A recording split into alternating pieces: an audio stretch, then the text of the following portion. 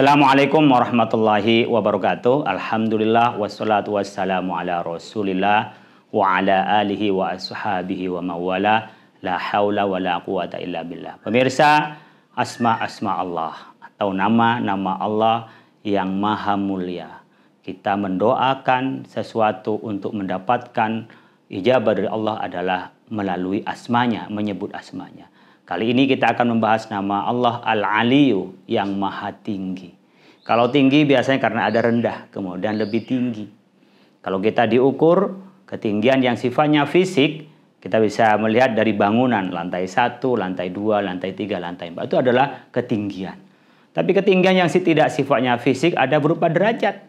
Seperti halnya keilmuan seseorang bisa dari ibtidaiyah, sanawiyah, aliyah, S1, S2, dan S3. Itu adalah derajat-derajat di dalam klasifikasi keilmuan yang di dalam pendidikan formal. Meskipun tidak pasti yang pendidikan formal itu menunjukkan yang lebih tinggi akan lebih pintar daripada yang di bawah. Tapi itu strata.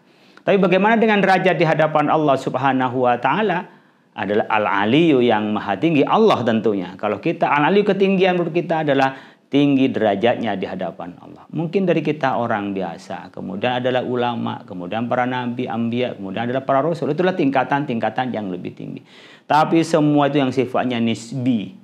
Semuanya adalah makhluk Allah dibandingkan dengan makhluk Allah yang lain.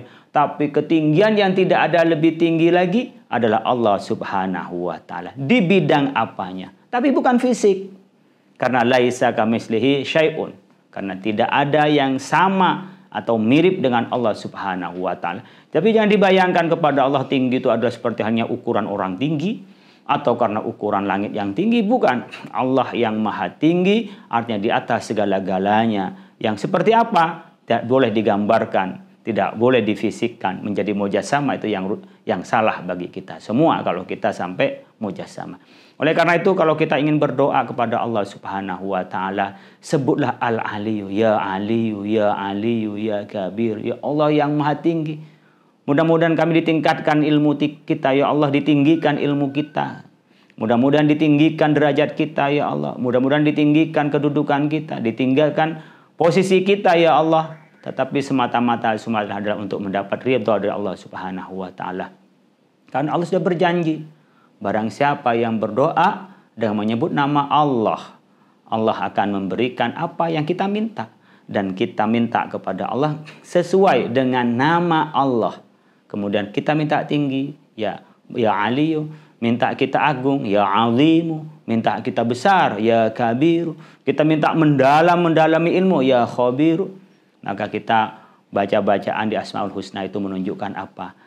Kita mengenal nama Allah dan mudah-mudahan Allah memberikan tetesan itu kepada hambanya kita semua yang kita doakan kepada Allah Subhanahu wa taala. Mudah-mudahan bermanfaat. Kurang lebihnya mohon maaf. Wallahul muwaffiq ila Assalamualaikum warahmatullahi wabarakatuh.